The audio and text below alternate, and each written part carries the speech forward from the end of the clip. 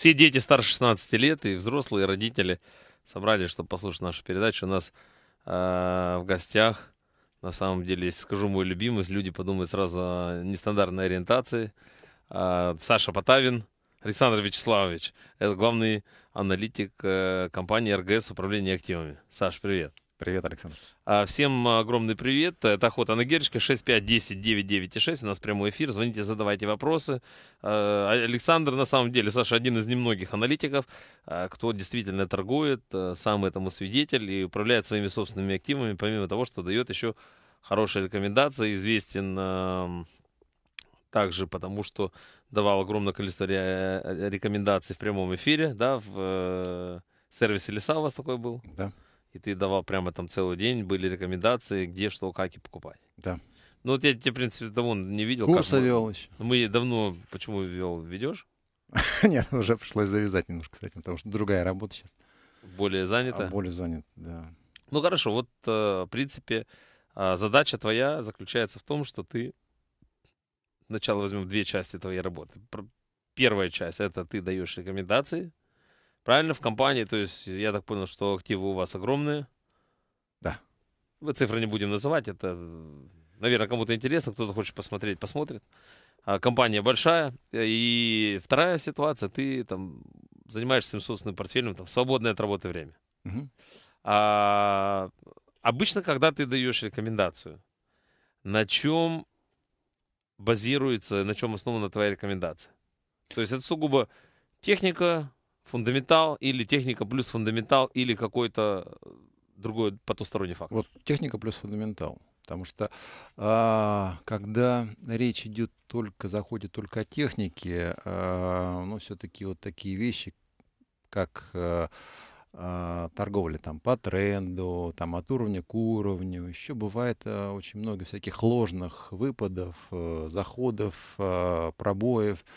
И это зачастую выматывает, раз, психологически, а, ты на этом получаешь убытки, два. А когда ты знаешь, что да, вот фундаментально а, какая-то, допустим, акция там очень хорошо смотрится, плюс к этому твое о, видение вот этой вот э, ситуации в компании, оно подкреплено еще графически, ну, на мой взгляд, это самый оптимальный вариант, который можно э, должен а, присутствовать на рынке. Потому что фундаментальный анализ, оно, конечно, более сложный анализ, а, потому что может любой а, начинающий почувствовать себя гуру рынка, прочитав одну-две книжки там за два месяца, посмотрев на графики, прослушав курс, и он считает, что уже все он овладел. Потому что фундаментальный анализ, он, конечно же, а, надо более кропотливо а, сидеть, изучать балансы, смотреть, откуда какие там их там финансовые потоки, куда идут. Но это более трудоемкая вещь, и зачастую у многих просто не хватает ни базового образования, чтобы это осилить, ни просто желания, потому что это надо долго сидеть. Лучше посмотреть на графики и сделать какую-то операцию. Я считаю, что все-таки должен быть на рынке симбиоз, когда э, ну, вот, и на график надо посмотреть, и посмотреть, что реально за компанией стоит, чтобы оценить вообще перспективы. А, а- а не уводит ли тебя график в какую-нибудь э, нехорошую сторону? То есть не получится так, что ты будешь последним, кто купил на росте или зашортившим на падении. Как ты считаешь, э, э, текущая цена, не будем брать исторические графики или график будущего, который невозможно предсказать, ну, текущая цена, насколько сильно э, она отражает фундаментал? М, Я скажу тебе просто свое мнение. Я считаю, что все заложено в цене. И э, фундаментал, и когда бумагу медленно потихонечку начинает скупать, и когда в ней происходит какой-то катаклизм, то есть это все отображается в цене. Например, и когда обычно, например, если эмитент упал 40-50%, к примеру, да, вот как в Америке мгм, бывает, мгм. потом может выйти какая-то новость. То есть это действительно, скорее всего, уже было заложено в цене. Такое было с Apple. Apple начал падать с 720 долларов еще до того, когда, в принципе, пошли новости о том, что Да. замедляется там экономический рост, э, что компании не будут только продавать, что нету, ну, и Мгм. потом, действительно, когда вот уже все эти новости вышли, то эмитент стал разворачиваться. То есть на самом деле новости были заложены в цене. Вот Ну, твое мнение. Ну да, а, я понял твою мысль. А, Ну, не все так, а, мне кажется, красиво, как ты описал. Не, нет, я, я я- не- я- я я, очень не уважаю, описывал, Саш. я не описывал но, вообще, а, я сказал, это, Да. это сугубо моя точка зрения. Да, ну вот я считаю, что все-таки, когда ты покупаешь какую-то компанию, все-таки ты входишь в акции, да. А, в акции компании ты вошел, э, ну, ты, бывает очень часто, когда ты вошел, и вот рынок там против тебя пошел. То же самое вот у нас было, а, когда мы покупали акции, допустим, Ростелекома. А, Покупали мы его, видя, что какая там цена выкупа акций будет, что за компанией принципиально ничего плохого сейчас нет, что фундаментально бумага должна стоить дороже, хотя бы ближе к цене выкупа, а ее продолжали продавать вот буквально там 2-3 недели назад, ее причем агрессивно толкали вниз. А, ну, казалось бы, мы на этом покупали, потому что за компанией ничего не стоит, а фундаментально она по технике она смотрится вниз, а фундаментально она сильная компания, Ростелеком, да, и после этого, когда да, было достигнуто какое-то дно, наверное, те, кто по- хотел, и, так скажем, купить под выкуп акций да, дешевле, они это сделали. После этого буквально за три дня ка- акция вылетела вверх на там, 15%. Тогда вопрос другой. Я абсолютно согласен с тобой. А кто-то, обязательно кто-то сливал, эмитент, не имеет значения, что было заложено. Вопрос в том, что сколько было потеряно с момента покупки до момента, пока она развернулась. Не все могут сидеть а, и пересиживать убытки. И такое было не только в э, Ростелекоме, да, вот, например, все там о Газпроме говорят, Газпром, Газпром, вот он шел 100, 140, 130, 120, 110, 107, и миллион людей на самом деле утверждают, что Да. фундаментально, да, компания, все у них Сначала хорошо. 145 это минимум, ко- ниже Такое которого не не может кладет. быть вообще, представляешь, народная компания, потом 130, 120 и, и- 110. и так дальше, да. А, да, да, да. Но а, фундаментально, опять же, вот я говорю, и просто Газпром под- подтверждался фундаментальными факторами, когда компания откровенно про, проспала газовую революцию, вот сланцевую, которая была в Америке, и потенциально, вот, э, к сожалению, из нее продолжали выходить инвесторы, не веря в то, что компании «Газпром» удастся сохранить свое лидерство. Вот, и поэтому все а, текущие э, новости, которые выходят, они, по сути своей, уже а, только лишь способны отвоевать часть потерь э, по этому эмитенту. Но в целом... То есть, а, по сути дела, ты частично согласен, что Да, да, да. новость э, заложена в цене. За- вот иногда бывает, знаешь, как зачастую, э, так что, ну вот у нас же очень рынок-то, а на российском рынке акций можно заработать хорошую прибыль только тогда, когда ты торгуешь, а, когда ты маркетмейкер в каком-то сегменте или когда ты торгуешь на инсайде. Правильно. Вот. Портфельщики, на самом деле, если взять последние пять лет, после кризиса 2008 года, пор- портфельщики все проигрывают. А, Да, по сути своей, да, потому что вот даже если взять, а, вот если положить, условно говоря, там в 2006 году деньги на депозит в банке с ежегодной рекапитализацией, значит, к настоящему моменту, допустим, даже к 2012 году, значит, сумма а, на счете должна увеличиться вдвое.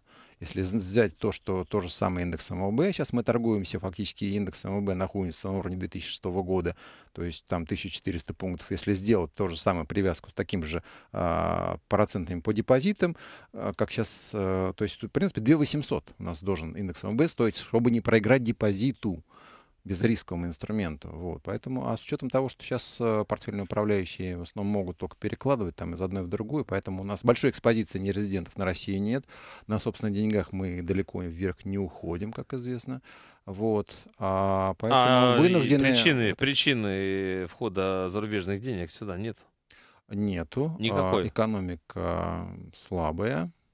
Вернее, она прекратила рост, когда цены на нефть прекратили рост. У нас и на самом Вот. деле никаких причин для того, чтобы сюда заходили иностранные деньги. Да. Иностранные деньги, ты знаешь, глобальные фонды, да, мы с тобой даже работали в одной фирме, глобальные фонды заходят всегда по нескольким причинам. Первая причина это экономический рост, когда деньги полезли в Венесуэлу, Пакистан, а, Южную Америку, Китай, Корею. Деньги идут туда только потому, что есть экономический рост. Абу-Даби взять. Та же самая Вьетнам. нефтяная страна.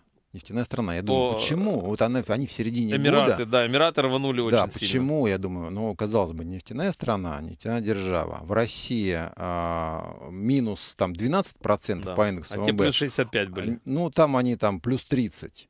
Почему? Нефти там, Вот мы нефти как раз здесь. Мы как раз сейчас у нас пойдет вторая 12 минутка. Давай, это ты на самом деле затронул очень хорошую тему, даже не только э, эту тему, а тему даже, я думаю, мы продлим с тобой, почему э, бензин стоит э, доллар в России и в Объединенных Арабских Эмиратах он стоит 10 центов за литр. Там вообще цен на бензоколонки нет на заправках. Заправили и все. Потому что там у них цены на нефть, на бензин стабильно в течение там, Да. 10 лет. Дорогие друзья, Александр Потавин, главный аналитик РГС управления активами, 6510 996, прямой эфир, перерыв на новости.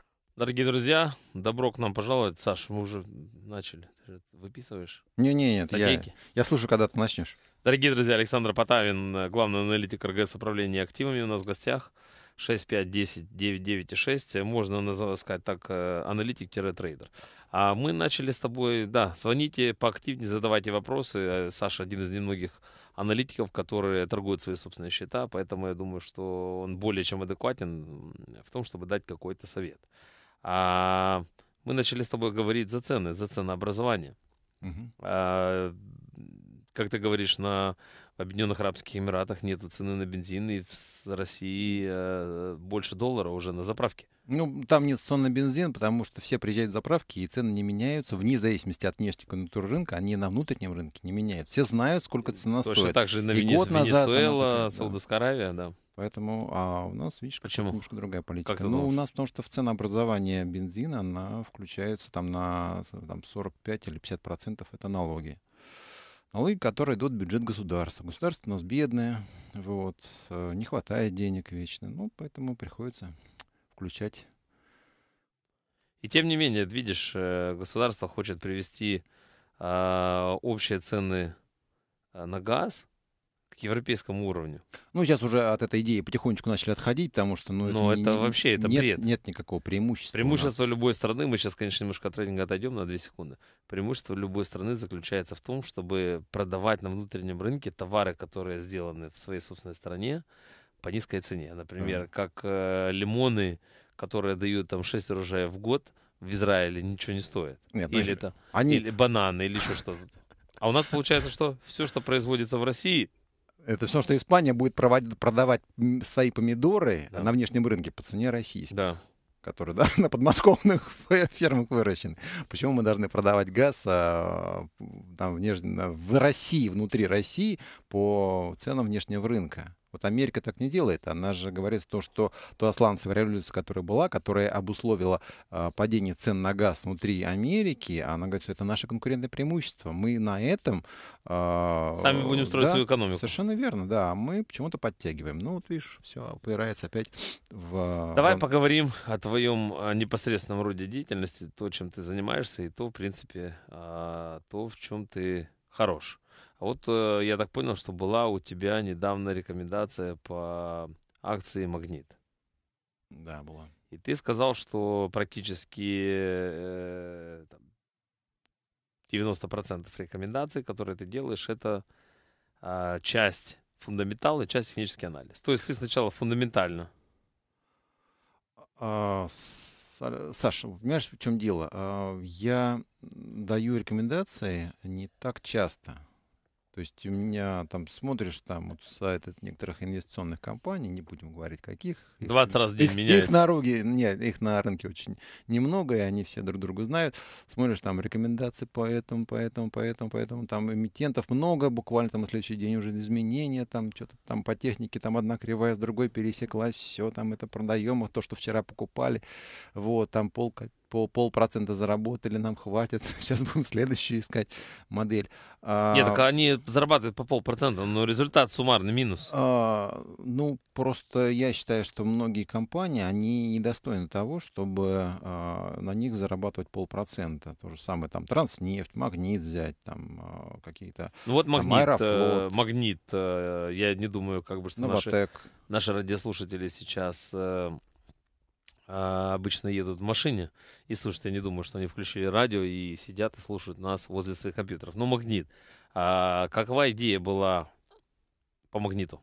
Ты знаешь, по магниту очень хорошая идея, просто а, бизнес настолько отлажен, что открытие новых магазинов и завоевание новых рынков, такое экстенсивное расширение, оно, в принципе, а, компании ничего не стоило. То есть у компании а, расширял за счет собственных средств уровень а, кредитной задолженности, а, если рост, то очень незначительно по сравнению с объемами открытия магазинов. Поэтому, в принципе, ну, по чести хвала, потому что я, я вижу, что в тех местах, где раньше были, ну, они же как, они сначала завоевали юг России, Потом начали перемещаться а, в среднюю полосу России, Урал там уже пошли. Но они очень сильно представлены да. Сибири, да, да, да. Сибирь, и, Омск, в, в регионах, Новосибирск. Кроме да. Москвы и, может быть, Санкт-Петербурга. А я не думаю, что им даже надо это.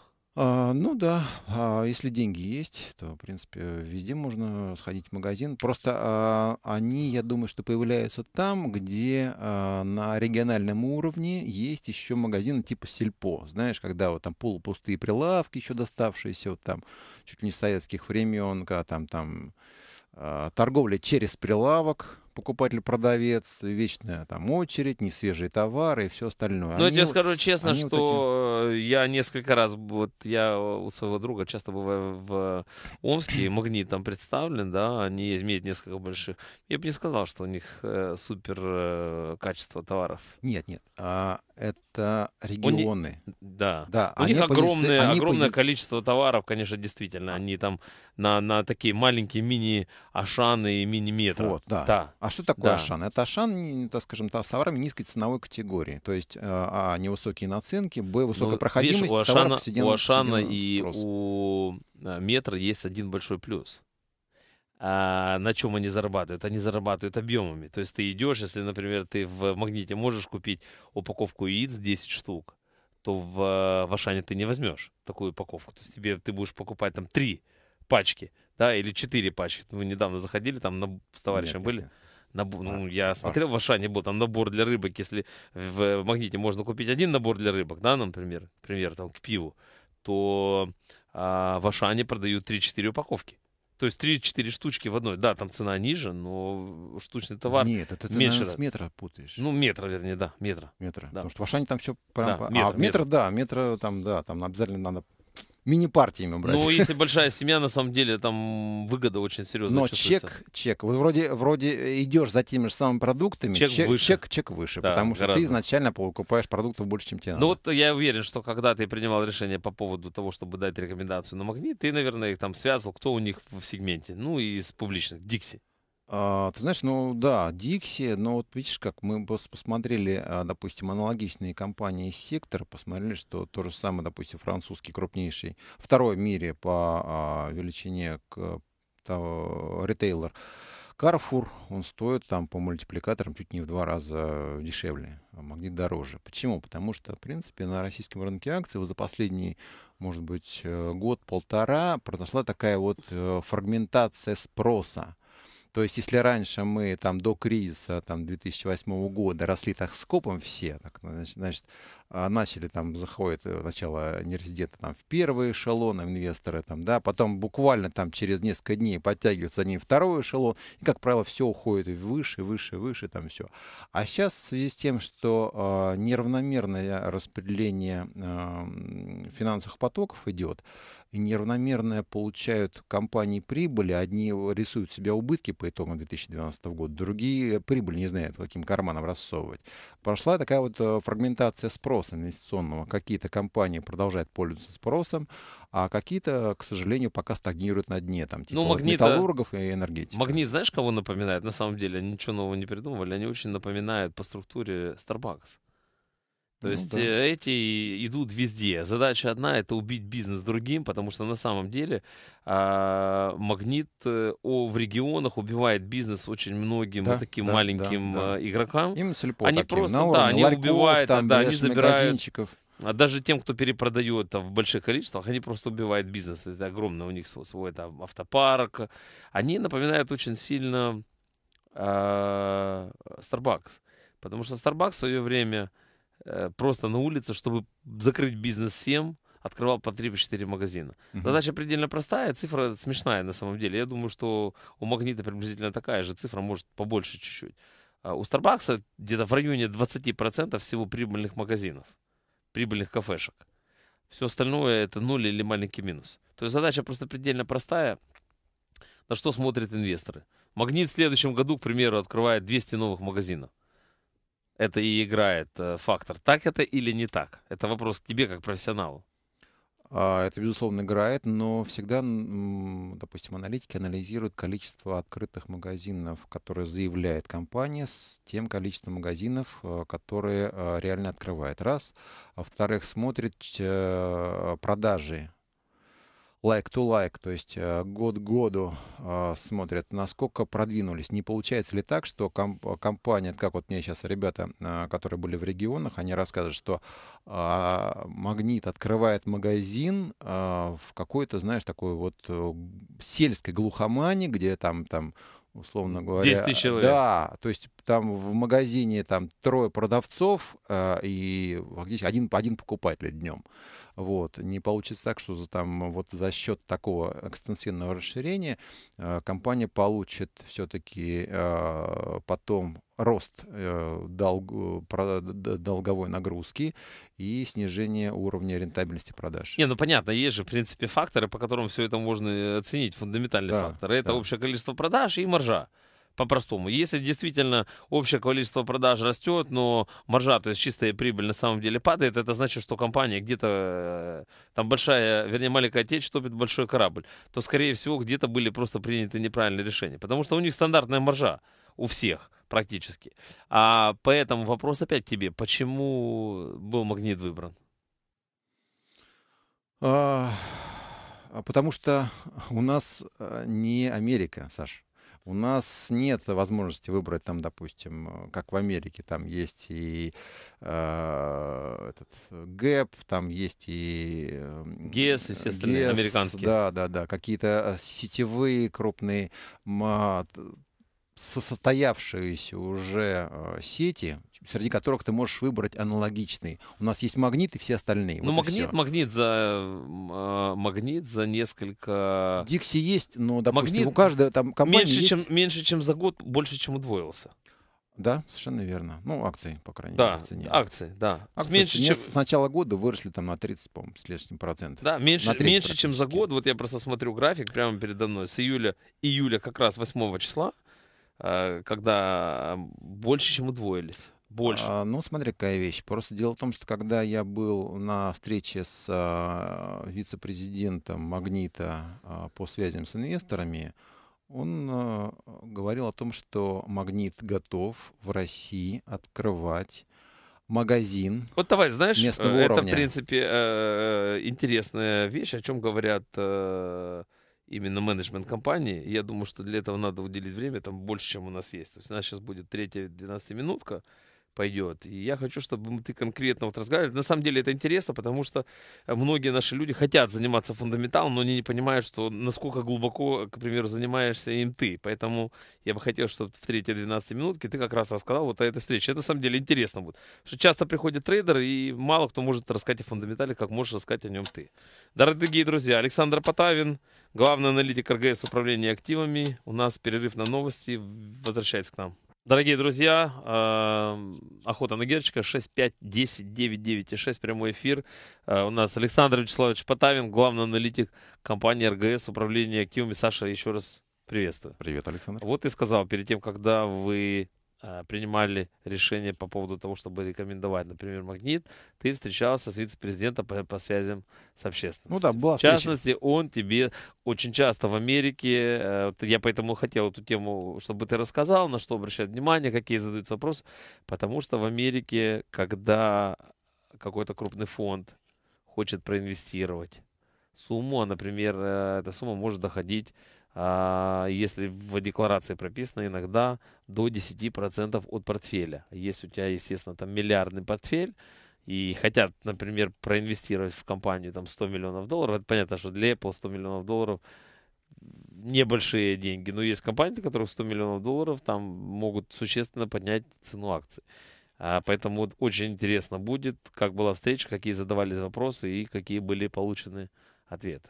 Нет, просто э, есть э, возможность у аналитиков профильных я хотя не профильная аналитика, приходится заниматься всеми отраслями по чуть-чуть, потому что у нас э, мы не инвест-компания, мы управляющая компания, у нас нет возможности держать, допустим, там э, в штате аналитиков отдельно по телекомам, отдельно по нефтянке, по металлургии, по потребительскому Нашли сектору. тебя, ну, такого нашли. универсала. Нашли.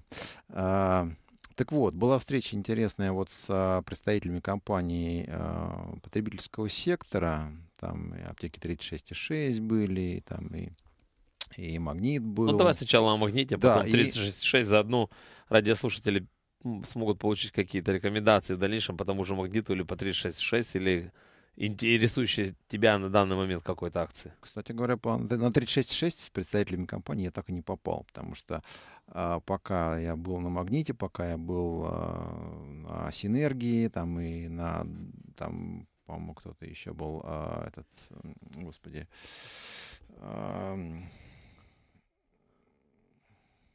компания, которая занимается а, ресторанами, как же она называется-то? Росинтер, по-моему, да? Я третий эшелон вообще не знаю. Вот. а, я просто так получил, что э, представители компании 3660 уже ушли, потому что на них никто не пошел из аналитиков, никто не хотел, захотел с ним встречаться. Да, а все, масса народа шла, естественно, на магнит. Жалко, что не было Дикси, конечно же. Вот. а, И, в принципе, э, там вот вице-президент, как раз он, по-моему, англичанин, то ли американец, ну, по крайней мере, на английском языке он там вел презентацию свою, э, говорил о том, что мы готовы открывать а, магазины а, в формате у дома с- в населенных пунктах с численностью а, потребителей где-то порядка, по-моему, 4 тысяч Пяти человек. тысяч. Да, 4-5 тысяч человек. Ну, это, это, это даже не микрорайон, это несколько домов, по да, сути дела. по сути, да. То есть, ну, это такой вот небольшой квартал. То есть они хотят перебить бизнес маленьким, как Совершенно называемым верно. папа и мама. Да, то есть а, мелким, мелким, мелким, да. Потому Да, что за счет например- чего? За счет того, что у них уже отлажено все, у них есть колоссальные скидки, а, с учетом того, что это сеть, на продукты У питания. них очень много, во-первых, Да. своего, под своим брендом есть. Свои, свои, э, которые там овощи, они там свои фрукты выращивают, вот. И э, гипермаркеты они готовы открывать э, вот то же самое в городах, в населенных пунктах с численностью там 40-45 тысяч человек. Ну, таких, э, Гипермаркеты. таких городов Вот. десятки тысяч Да, в поэтому России. мы, когда пытались вот оценить, э, когда же вот предел, предел роста а, экстенсивного вот этот по магниту, мы так при- примерно вычислили так вот с учетом текущих темпов роста, где-то вот они должны там в течение там еще полутора лет, я думаю, что уже потом уже все, уже, уже по, вот, уже они закроют все э, более-менее, более, более-менее Ну, понятно, они просто- населенные пункты. Они да. станут просто по-простому конгломератом, который будет зарабатывать там 8-9% на свою маржу, и просто будет компания, Да, которая да, да. огромная, но очень медленно растет. Да, ну как которая рынку не интересна. Да, как Walmart, то же самое. Ну да, она не выросла до Wal- определенных да, размеров. Она ну же тоже да. была изначально маленькая. Walmart, Потом General Electric, да, компании, которые становятся выросли. конгломератами огромные, и они просто никуда не Темп- растут, потому что да, темпы ро- роста никакие. темпы роста а, уже какие? За счет чего? А насколько сейчас они, то есть вы просчитали где-то, что у них есть там год-два, к примеру, да, ну, полтора, примерно так, да. для того, чтобы занять эти... Совершенно верно, да. А Ну, откуда у них э, столько денег? а, ну, во-первых, у них за счет э, собственных средств они очень много делают, бизнес открывают. Вот. э, Кредитная нагрузка есть, но она не... Ну, насколько большая? А, Она, э, слушай, ну, о памяти я не помню цифры, но она, она не критичная. То есть там, э, может быть, э, долг ебита там меньше единицы. То есть, по крайней мере, ну это для ритейлера это не, не- ничего. Вот. Или близко к единице. Я боюсь сейчас, так скажем, ну, по крайней мере, не, невысоко по сравнению с другими ритейлерами. Вот. а, С тем же самым там X5 Retail Group там, или Dixie. Вот.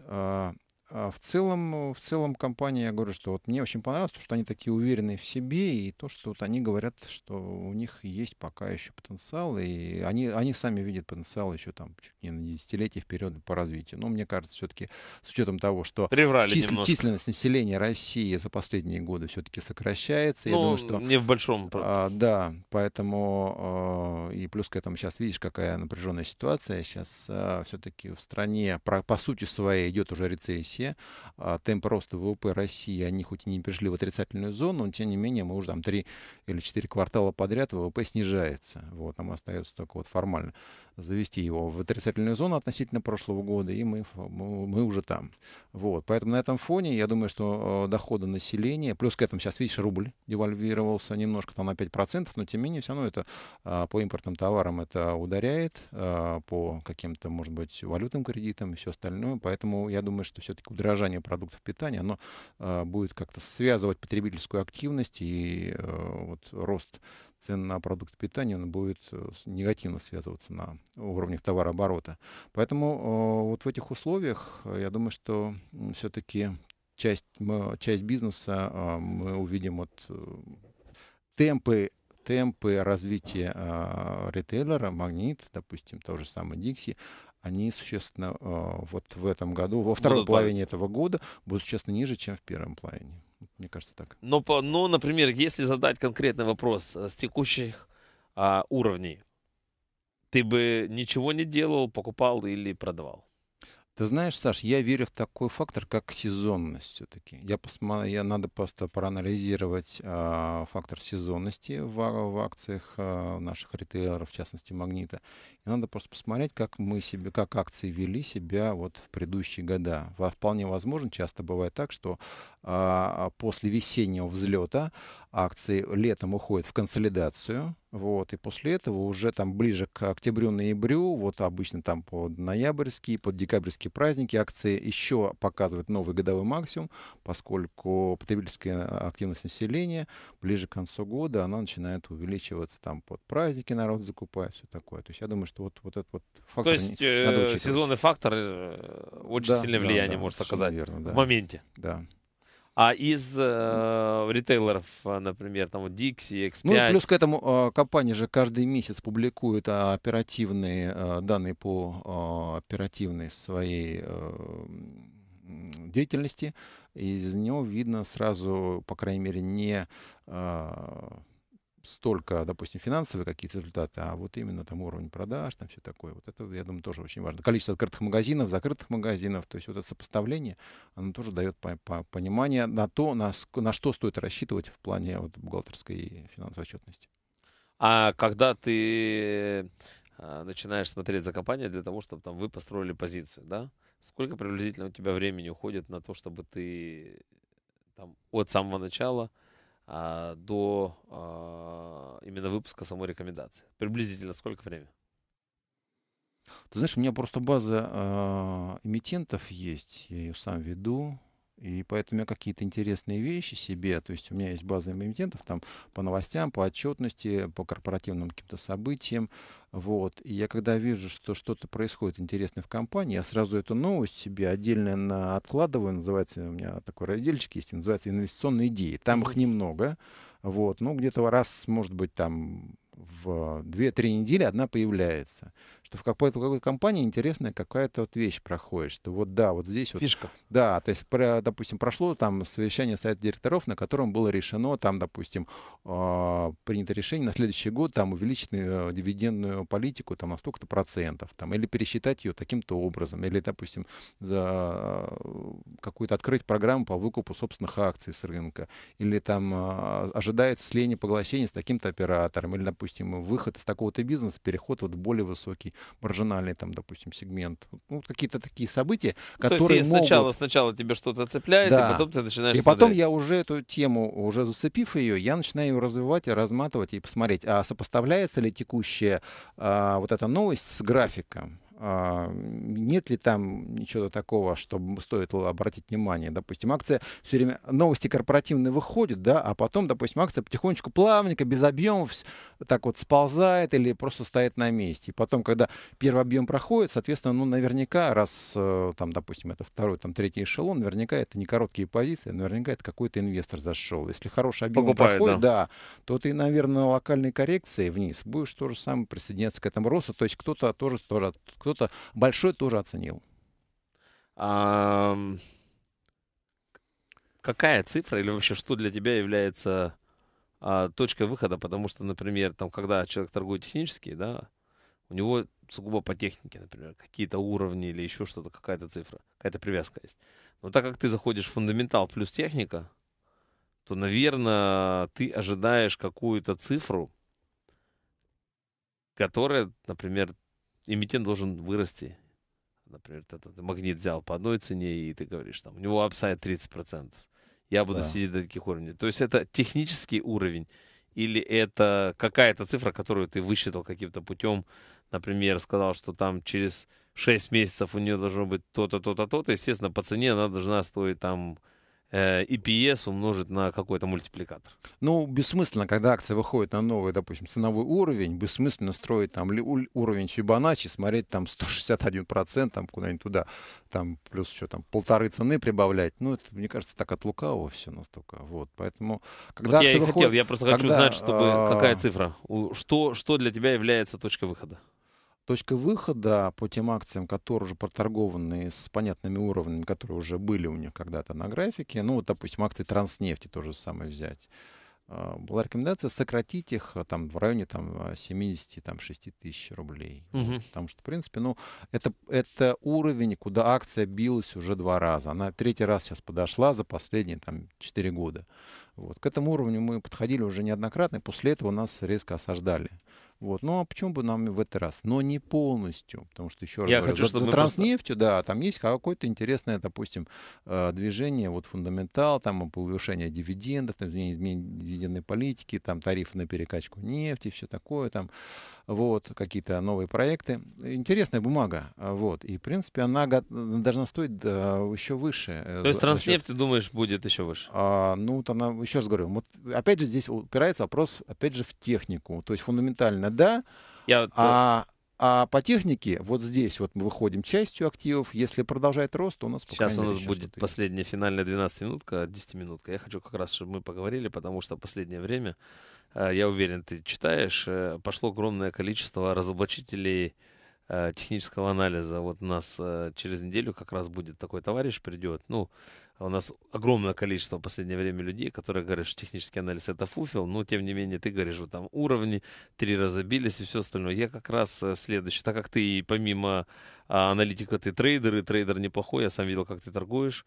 А я хочу, чтобы мы как раз поговорили о техническом анализе. Дорогие друзья, у нас Александр Потавин, а, главный аналитик РГС управления активами. И мы после новостей. Добрый день, дорогие друзья. А, Потавин Александр Вячеславович, главный аналитик компании РГС управления активами в гостях э, у Александра Герчика. Саша, еще раз.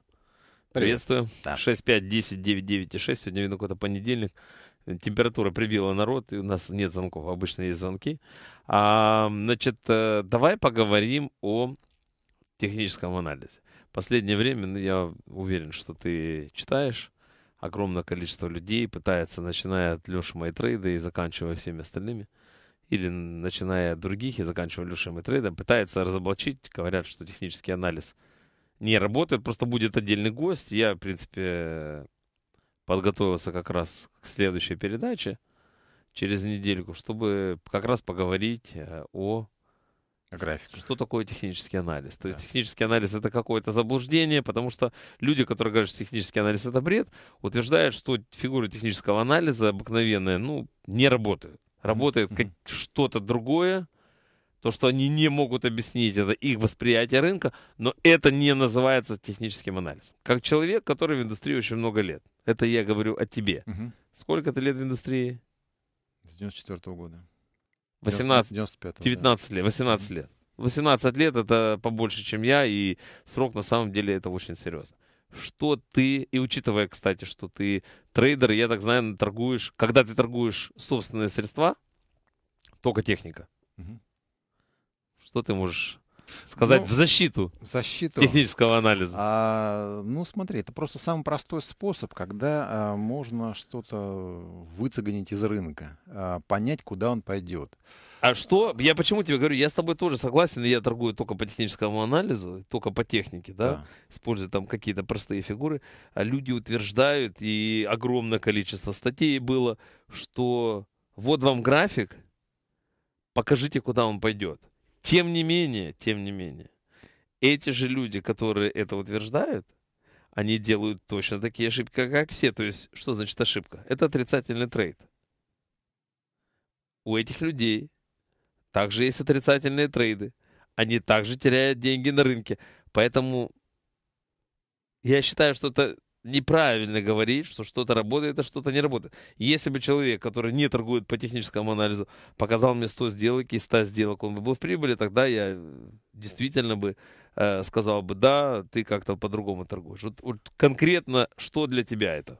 Ты знаешь, Александр, я просто э, в свое время понял, что, как я уже говорил в самом начале нашего эфира, о том, что на рынке бывает много всяких ложных движений, каких-то комбинаций, которые не описаны в учебниках, которые сложно к чему-то привязать. С одной стороны, это падающий тренд, с другой стороны, это растущая формация в рамках падающего тренда, или все-таки это боковая консолидация в рамках какого-то там мега долгосрочного движения. Поэтому вот и каждый, каждый, глядя на график, видит один, свое. один видит свое. Да, один видит, что это отскок, другой говорит, что это на самом деле не отскок, а просто какая-то, так скажем, там, мини-коррекция, там еще что такое.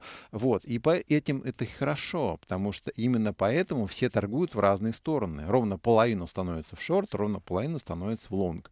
Вот и все. Вот. И кто-то пытается друг другу что-то доказать. На самом деле, э, на мой взгляд, э, все-таки наиболее продуктивным в этом в плане торговли является совмещение технического анализа, то есть построение каких-то трендов, уровней, с а, такой очень хорошей вещью, как price action. Вот, вот, вот я, она, это мне вот лично вот это больше всего нравится, price action, потому что я вижу изменение цены относительно А уровней, относительно трендов и относительно а, привязки объемов и вот... А, вот ну, price action, VSA, это и есть все технический анализ. Ну, по, ну да, по, это, по сути все, своей, что, да? все, что рисует график, по-простому. Да, не, есть... Некоторые говорят, торгую по технике, Нет, имея, могут... имея в виду вот эти вот только графики нас и могут... вот эти всякие осцилляторы. Любое, там, любое а... слово, которое мы говорим, а, оно может вызвать гнев. Но если ты видишь изменения в графической формации, это и есть технический анализ. Потому что ты как раз именно и анализируешь технику. Это и есть самая простая техника. А, ну, мне просто нравится вот совмещать а, вот эти вот э, то, чем ты занимаешься, вот это вот анализ графика. А, вот я не знаю, просто ты про Price Action, action торгуешь? И весы, конечно, да, вот, поэтому, анализ. Поэтому я думаю, что да, поэтому вот мне ну, кажется... И еще раз, кажется, я это, кажется, может, называю как-то это по-своему. Да. Я... Почему мне тяжело сказать, торгую так или нет? Потому что я не читал книг, я не знаю, что это такое. Я не знаю а, конкретно как это описано в книжках. Я просто вижу на графике. Но я считаю, что я торгую по техническому анализу, потому что я ищу паттерны, я ищу фигуры либо продолжения, либо а, да. развороты. Да. То есть, да, это называется технический анализ. И мне просто интересно, вот у нас будет специальный гость, который как бы пытается разбить, это не Леша Майтрейд будет, который пытается разбить технический анализ. Я хочу лично у него узнать, как это называется. Может, я прожил 42 года, я торговал 16 лет и вместе с тобой, и мы не знаем, что это такое. Знаешь, вот... У а, нас а есть вот... э, э, звонок. Борис, э, здравствуйте, вы в прямом эфире, слушаем вас. Добрый день. А, слушаю вашу передачу, периодически очень интересно. А почему периодически вот, тогда? Да. Вот, нет, нет, а... почему тогда периодически, если очень интересно? Потому что, ну, дела там не попадаю, может быть, там пропускаю эфиры. Да, Борис, мы слушаем. Вот просто тема очень интересная по поводу технического анализа и по поводу, вот как вы затронули тему о том, что его там не, вот у нас будет, мы просто подводим вас, у нас будет следующая передача, как раз э, придет да. молодой человек, который пытается разбить технический анализ. Непременно послушаю, да, и очень интересно. Я звонил как-то вам раз, я торгую уже давно, и торгую только технику. Вот. Причем техника у меня такая своеобразная. Вот э, я как-то вам звонил, задавал вопрос по поводу того, что говорю, в чем, вот если вы торгуете на рынке, в нем должна быть причина, почему вы должны быть положительной, да, то есть есть разные Абсолютно подходы, верно, там, да, да, помню звонок. Да, вот э, у вас, Александр, там паттерны, там вы там рассматриваете.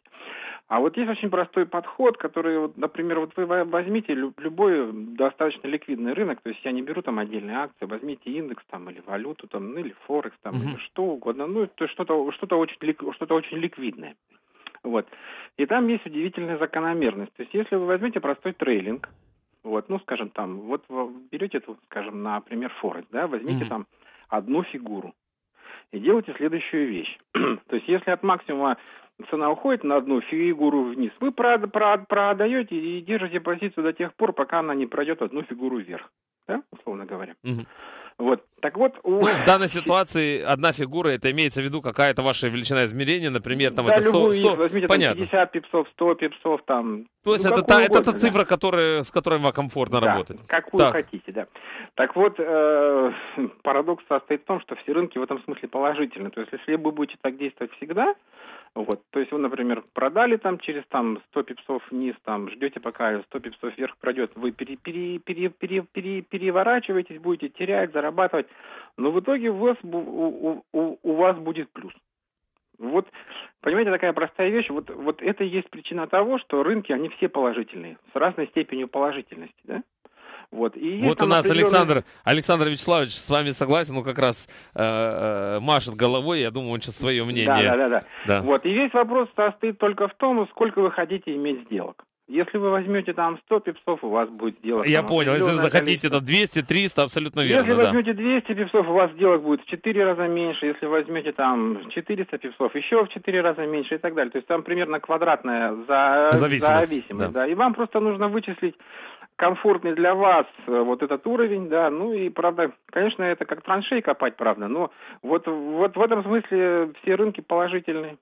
Но я с вами соглашусь абсолютно в одном, что, в принципе, если есть э, системы, сейчас Саша, я извиняюсь, перебил, пе- пе- первичнее своего гостя говорю, а если статистически все время использовать Да. одну систему с одними и теми же стопами, со всем остальным, то рано или поздно она действительно дает... э, Не, не, она, у, у нее, у, нее, у, нее- у, у них у всех одинаковые параметры. Нам дело в том, что, вот, например, если мы возьмем, то есть это все зависит, от, все это привязывается к какой-то средней. Вот возьмите любую среднюю, да, возьмите конверт, то есть два там средние, ну, два стандартных отклонения от средней, у вас получится вот такой конверт, да, который ходит, вот такой червяк, да, который ползает туда и сюда. Любую среднюю возьмите, у вас будет свое там среднеквадратическое отклонение, это будет влиять только на количество сделок. мгм, Да, больше, Вот, меньше, но да. в любом случае, она всегда будет положительной. Я всем говорю, вот э, если кто-то И никто, слушает, наверное, не верит. Никто не верит. Вот, естественно. А мы А вам- Потому что очень трудно поверить, потому что нужно, это что же нужно ждать, это что нужно Нет, люди все время думают постоянно, Да, что да, да- да- можно- должно всему Если обос- вы возьмете один параметр, у вас, у, вас, у, вас, у вас может быть просадки в 10, 20 отрицательных сделок, отрегулируйте правильно стоп, и там, если вы возьмете другую, то чуть-чуть больше, у вас будет там 10, 5 сделок, 2 сделки, там просадка и так далее. То есть все регулируется стопами, и Боря, вы знаете, я в прошлом э, году, когда э, первый раз пришел на радио, я рассказывал, у нас летом, э, когда мы немножко стояли в рейнже перед августом, у нас есть система, я ей рассказывал о ней, ничего секретного нету. Она дала подряд 59 убыточных сделок подряд. ну, Ну, это у вас, наверное, очень маленький стоп был. Да, стоп очень короткий был, на 59 стопов дала, Да, и, и потеря была не очень большая, потому что риск Да. на сделку составляет где-то 0,15, Да, и, и там помимо того, что 0,15, еще есть процент от депозита. То есть ими каждый раз, каждый раз уменьшался процент от депозита захода в позицию. И, по сути дела, всего на, там, э, на Совершенно 60 верно, сделках потеряла там 9,5% суммарно. Да-да-да, Но потом за три сделки, как вы правильно сказали, на все отбило. Я извиняюсь, я отобрал слово у Александра Вячеславовича. Александр Вячеславович, э, Да. ваше мнение? Б- Борис, оставайтесь с нами на линии, как раз Хорошо, поучаствуйте в разговоре. Александр Саш. Михайлович, а если бы... Это техни- Боря, Боря там у нас. Да, э, если бы технический анализ не работал, тогда, собственно говоря, э, ради чего писалось бы столько книг? Потому что есть Ну, э, тысячи Я трейдеров отвечу на твой успешных. вопрос. Я сегодня прочитал, для чего пишутся книги, чтобы мы с тобой и Боря, наверное, заработали на этом деньги. Нет, просто есть достаточно много, я знаю просто людей успешных, которые торгуют по технике, и Борис, они, вы они вот, собираются... Борис, у нас нет вашей фамилии, только имя, нету ни, ни телефона, ничего. Вы успешный человек, только вы зарабатываете деньги на рынке? Вы знаете, э, да, я как бы, то есть я их не теряю, по крайней мере, просто с- с- там стартовые капиталы, там вот эти, э, надо жить на что-то, вот, я никак не могу как бы развиться, но в принципе я совершенно четко вижу, что это Можно жить с работает. этого. Да, э, нет, жить с этого абсолютно точно можно. Главное выбрать, вот, то есть у меня вот рекомендация для всех. Если вы будете пользоваться такой системой, то выберите, посчитайте каким-нибудь образом любым средний размер дня. Вот, вот, например, вот индекс РТС у нас, да, фьючерс на индекс РТС. Вот я считаю средний размер дня. Вот если он... АТР по-простому. Да, ну, его можно по-разному посчитать, это уже, так сказать, ваше там право. Ну, берете он у нас, колеблется, скажем, от Боря, 3 до 30 10 секунд, тысяч 30 там. секунд осталось. Да, Так. от, 3, до, до 10 тысяч. Вот возьмите 5 тысяч и входите. А, нет, вы 5 имеете в виду не АТР, получается... Да, да, я просто, про- просто размер Движение дневного вверх-вниз, бара, да, вверх-вниз. средний Понял. размер дневного бара посчитайте за какое-то время. Вот, если вы будете брать 5, там, 5 тысяч пунктов, то у вас количество сделок за год будет там 40-50 штук, и вы будете зарабатывать там примерно 25 Боря, все, извините, к сожалению. Дорогие друзья, у нас Александр Вячеславович Потанин был, а, главный аналитик компании РГС Управления активами. Всем огромный привет, успехов. А, Через неделю повоюем насчет технического анализа. Всего доброго, Саша, огромное спасибо. Спасибо.